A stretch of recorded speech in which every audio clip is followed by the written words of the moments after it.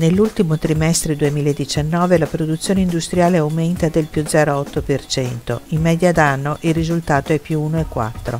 Meno bene il settore metalmeccanico, più 0,2%. Andamenti diversificati per le varie classi dimensionali.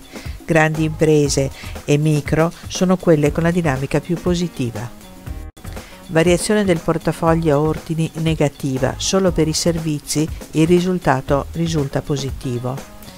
Per il 23,3% il portafoglio ordini non arriva a un mese, per il 27,2% supera i tre mesi. Variazione dell'occupazione al più 1% e positiva per tutti i settori. Per quanto riguarda le dimensioni aziendali, sono quelle più grandi a registrare i risultati più positivi. Stagnazione delle vendite in Italia che crescono solo per il settore dei servizi. Il più 0,4% delle vendite all'estero è il risultato di un più 1,2% nel mercato UE, meno 0,5% extra UE. Per la media delle imprese in corso d'anno è andato migliorando il rapporto con il credito.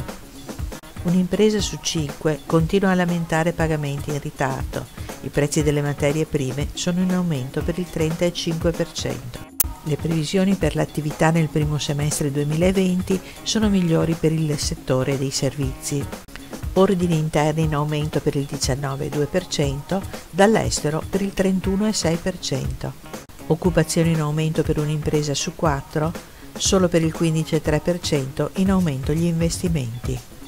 Lo stato di salute dell'economia italiana è giudicato positivo solo dal 2,9%, in miglioramento dal 6,6% ma in peggioramento quasi dalla metà degli intervistati.